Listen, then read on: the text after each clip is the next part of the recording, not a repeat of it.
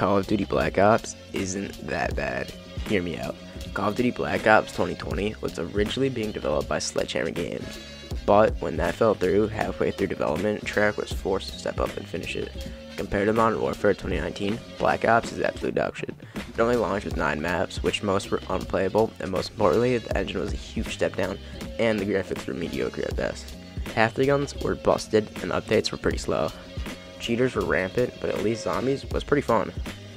Coming from the absolute hit of Modern Warfare 2019 and Warzone, this game had huge expectations, and CODs fans everywhere were itching for the next great game. Then, it came out and the fanbase was not happy. Not only was it a mediocre game, it ruined Warzone with the new guns. Either you were forced to buy Cold War and grind the new guns to have a huge advantage, or you just bought the blueprints for them. But even with all of its flaws, Cold War is honestly pretty fun. I get it's nothing compared to Warzone or Modern Warfare, but it's a great game to click Nuketown 24-7 and just chill out. The time to kill isn't as bad as people say, and with the new sniper idea, sniping's pretty fun. And honestly, the Treyarch taking over halfway through development and it being rushed, it's a pretty good game, even with all of its flaws. So Call of Duty Black Ops isn't that bad. And stop whining about skill-based matchmaking, it's really not that bad. But I haven't got it everything, so maybe that's just me please comment and like for the algorithm. And I'm definitely not to have my mediocre complainer in the background until 8 minutes so I can get more views. I mean, I would never. Who would be scared enough to do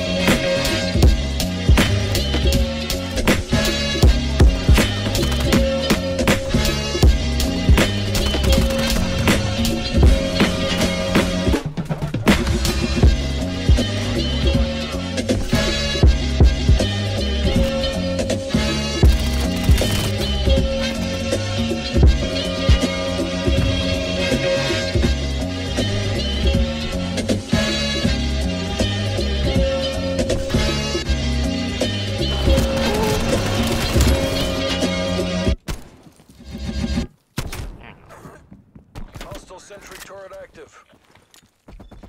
Throwing stun.